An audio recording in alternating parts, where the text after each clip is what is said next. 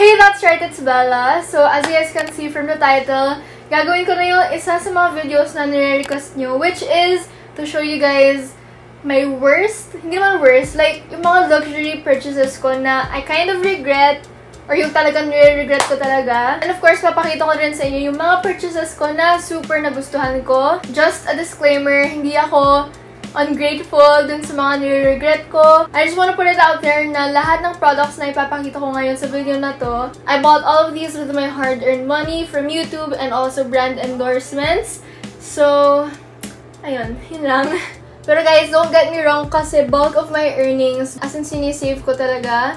And these are just like yung mga reward ko sa sarili ko from time to time. Siyempre, after lahat ng pagod, after lahat ng hard work. Okay, bago kayo pakita yung mga to, make sure to subscribe to be part of the hashtag BellaFam and click the notification bell to be notified whenever I upload a new video. And i-follow nyo na rin ako sa social media accounts. All the links will be down below. So if you guys wanna see the luxury purchases that I regret and love, please keep on watching. Okay, let's start off muna sa mga pinaka na-regret ko talagang bilhin. Okay, so ito yung pinakauna.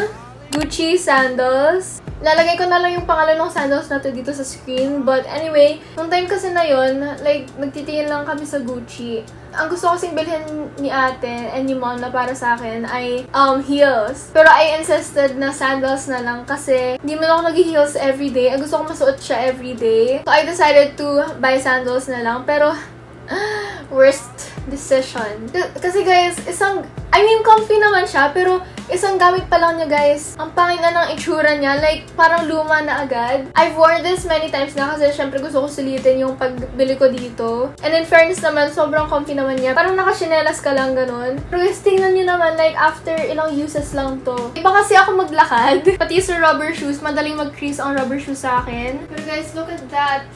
Ang dami na niyang crease. Tapos dito, ang dami na niyang gasgas. Look at that. O, diba? Sobrang dumi na niya.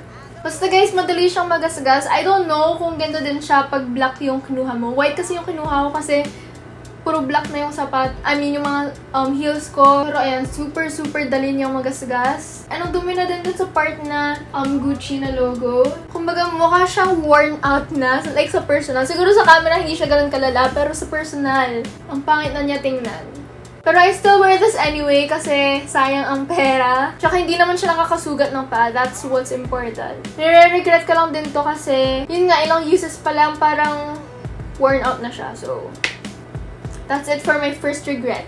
Ito naman yung sunod, and again, it's from Gucci. And nung una, hindi ko talaga alam kung include ko to sa regret list ko kasi ito yung pinakaunang designer bag na binili ko for myself. And it is the Gucci Fanny Pack. Super important din to sa akin kasi it reminds me of, yun nga, yung pinakauna kong reward para sa sarili ko. Pero kasi guys, wala ko masyadong malalagay. Siguro dati, konti lang yung mga nilalagay ko sa bag ko. Pero ngayon kasi, ang dami ko nung dinadala. Like wallet, power bank, phone. Basta yung mga ganun. Pero mahilig pa naman ako sa mga small bags. Pero recently kasi parang mas gusto ko like mas convenient, mas madaming space. Ah, kasi da kasi recently, lagi ko nang dala yung film cam ko. Eh, yung film cam ko naman, hindi, hindi siya kasha dito. Together with my other stuff. Guys, ito yung kamay ko. Yeah, ganun lang kalaki. Pero super ganda pa rin ng condition niya up to now. And guys, hindi ko na rin kasi ito masyado nasusuot kasi like recently, hindi na nga ako masyadong mahilig sa mga fanny pack. Feel ko hindi na bagay sa akin. Like guys, ito lang yung space niya. Super small. But yeah, I don't think i-dispose ko to soon or like ibebenta or something. Kasi this is memorable to me. okay, ito naman yung next. And ito, ito yung gusto kong ibenta kasi hindi ko na talaga siya nagagamit. Though, hindi ko alam kung nasan yung dust bag nito. Actually, yung mga iba kong mga bags, kunyari yung Balenciaga, nasa Givenchy na dust bag. Hindi ko na alam kung nasaan. But ayun, nire-regret ko to kasi I bought this sa States, tapos, dun ko lang madalas siyang ginamit. Like, pagpunta dito sa Philippines, like, mga ilang days ko lang siya ginamit, tapos wala na. Like, nakatambak na lang siya sa closet ko. Like, ang dami na kasing kagaya nito. And I feel like it's not my style anymore. Kasi hindi na rin ako mahilig dun sa may mga design yung strap. Like, yung pinaka gusto ko lang ngayon na may design yung strap ay yung off-white. Tapos sa na to kasi, super liit lang din ang space niya. Like. Ayan. So, ayun. Gusto ko na to ibenta. Sa ate nga, never to ginamit eh. Yun, yun lang yung only reason ko kung ba't nire-regret ko to. Kasi nga, parang feeling ko it's not my style anymore.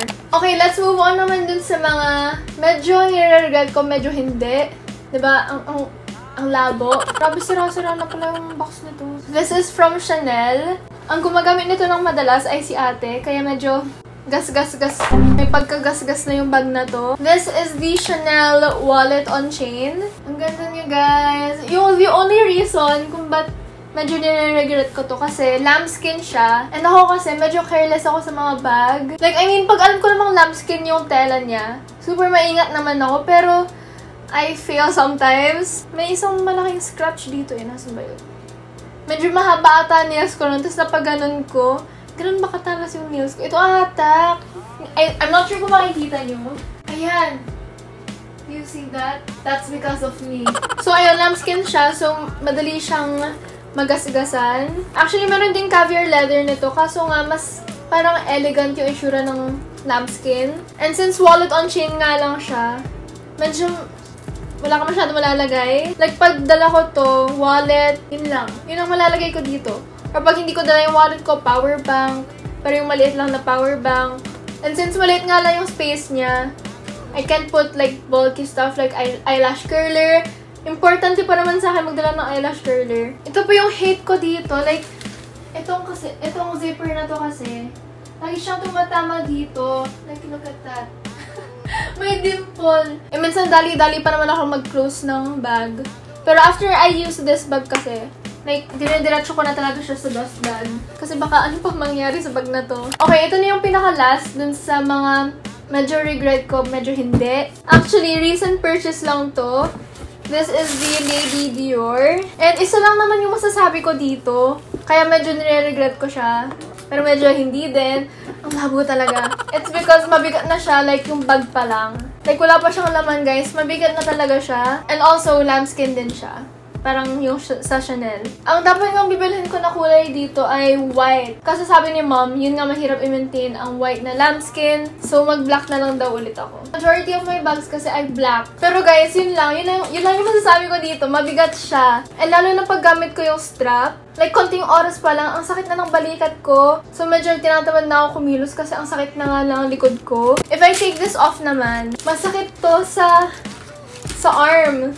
Pag nakagalan siya ng matagal, super sakit na niya. So, yun lang masasabi ko dito. But when it comes to the space naman, okay yung space nito kahit mini siya. Madami kang malalagay dito, guys. Basta dapat maayos yung pagpatas mo para hindi ka hassle. I know medyo formal siya, pero ginagamit ko pa rin siya during casual days. Okay, now let's move on naman dun sa mga purchases na I really love. Let's start off muna dun sa pinaka-pinaka gamit na gamit ko, which is from CDG. Ayan. Actually, may isa pang pair, pero nasa dorm ni ate. Pag napanood niya na yung dati kong video, ito yung pinakauna naming CDG. ba diba? Super duper worn out na niya. Kaya bumili kami ng bago, pero yun nga, na kay ate. Alam niyo naman yung mga shoes from Converse, super comfy talaga. Super dali lang kasi niyang ternuhan. So, meron kami white and black. Si Angela din merong white nito. Mare-restore pa kaya ito? Kasi sayang naman. Medyo bumubuka na kasi siya, guys. Like, look at that.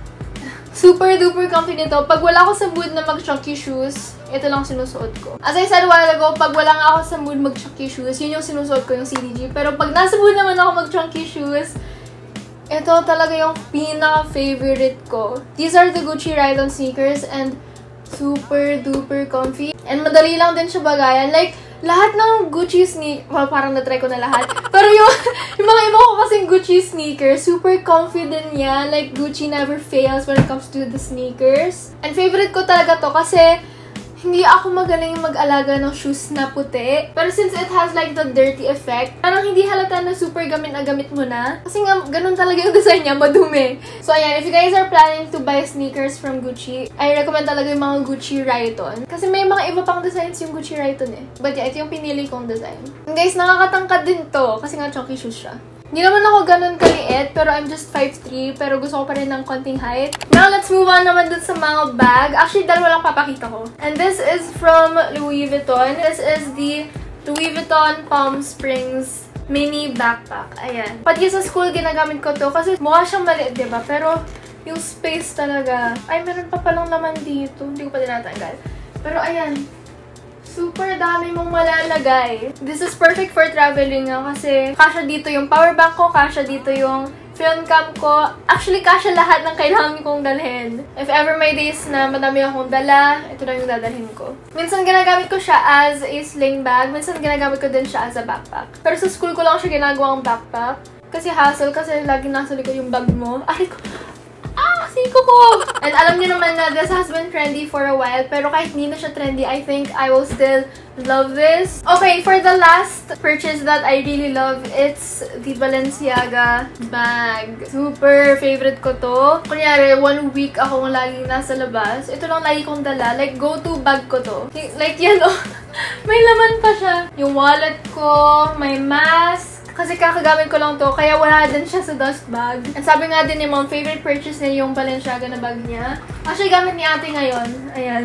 Pero I really love this. Super madami kang malalagay. And madali lang din siya ternuhan kasi nga white siya. That's why I really want to invest more sa white bags. I totally recommend Balenciaga when it comes to bags. So yeah, that is it for this video. If you guys liked it, make sure to give it a big thumbs up and make sure to subscribe to be part of the hashtag BellaFam and to get notified whenever I upload a new video. I'll see you guys in my next one. And don't forget, your That's Bella Amazing. Bye!